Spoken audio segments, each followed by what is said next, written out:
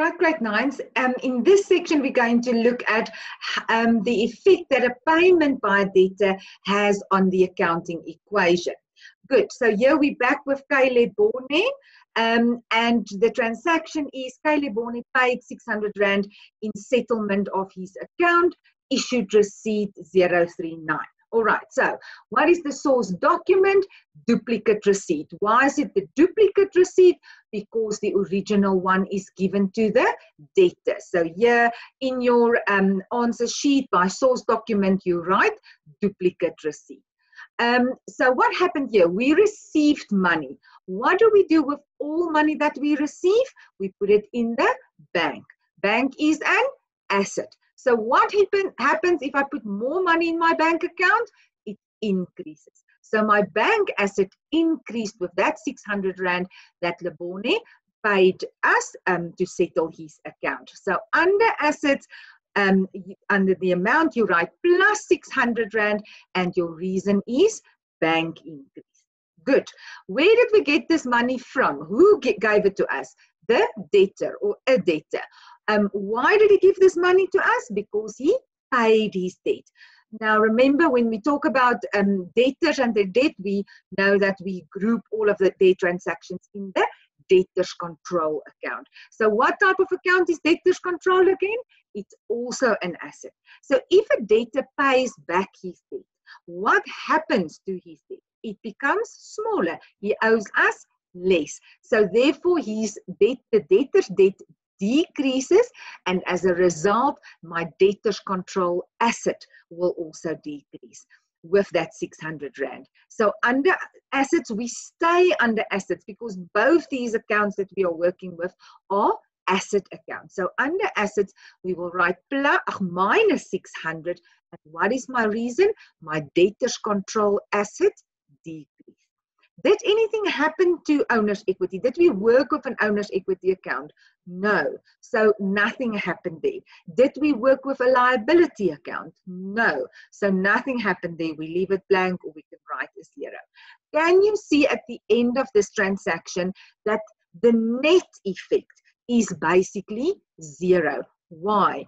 Plus 600 minus 600 gives me zero. So one asset increased, but at the same time, another asset decreased. So the value, the total value of this business's assets did not change after this transaction because we dealt with two assets, one increased, the other one decreased. So the net effect is zero. Right, you can go and try to complete activity 10 and see how well you can remember what we've just discussed here. I'm going to go on to the last one that we're going to um, um, do before we move on to other um, work. We've after this we'll be done with accounting for a while um, now what you must be able to do after we are now finished with the CRJ, DJ, and DAJ, um, with all the payments by debtors, the, the sales to debtors, and the returns by debtors, is to put all of this now together. So if I give you now a combined exercise with transactions that must be recorded in the CRJ, the CPJ, DJ, and DAJ, you must be able to identify which journal must I take this specific transaction. And can you do it? Yes, you can. I've once again given you a little cheat sheet to work off, um, and that's just to help you organize your thoughts.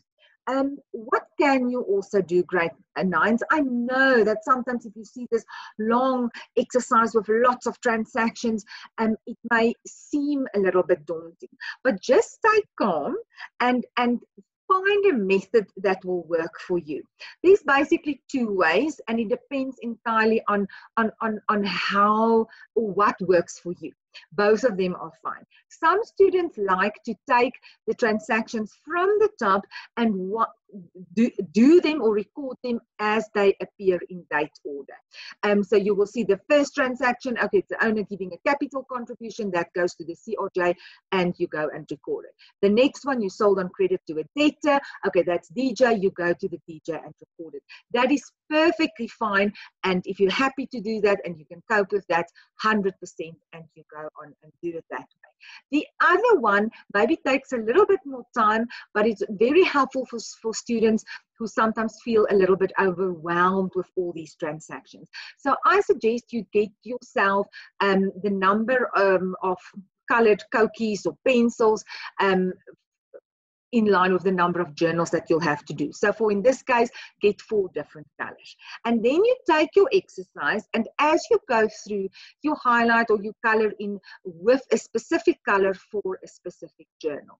Now, um, that just helps you then at the end when you then start completing your journals to make sure, and that's easier to see, okay, all these transactions go to the CRJ, all these transactions go to the CPJ, and so forth. All right, now let's have a little look here. We've already in the previous presentation looked at the DJ and the DAJ um, keywords that you can look out for that will tell you this is a transaction for the DJ or this is a transaction for the DAJ. I've now just made them in different colors to make it a bit easier for you.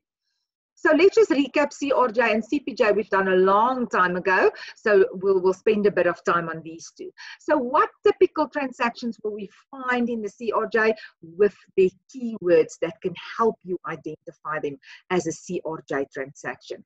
First of all, the words cash sales. It can't go anywhere else but cash receipts journal. Um, if you see the words cash register roll, tells you it's CRJ. Issued a receipt tells you CRJ.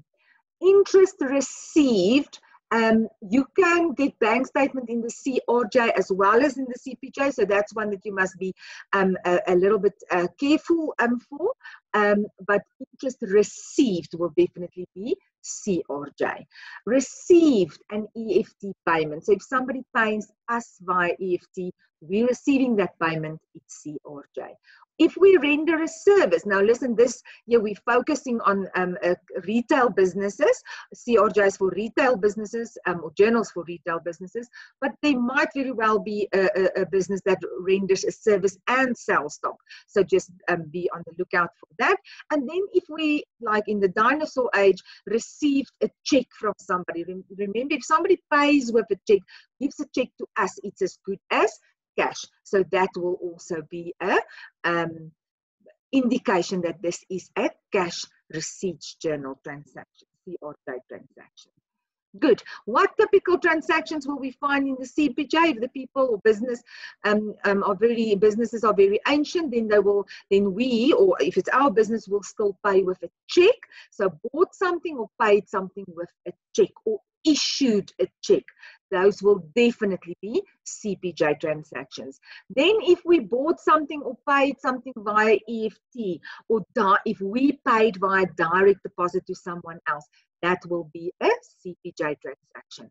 And then if you uh, see something that's on the bank statement that tells you that we pay interest or interest was charged on an overdue account perhaps, or bank charges that the bank charged us for managing our account.